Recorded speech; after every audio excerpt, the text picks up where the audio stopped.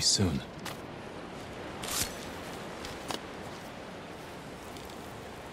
My lord, how did you find us? A descendant of Tadayori pointed me here.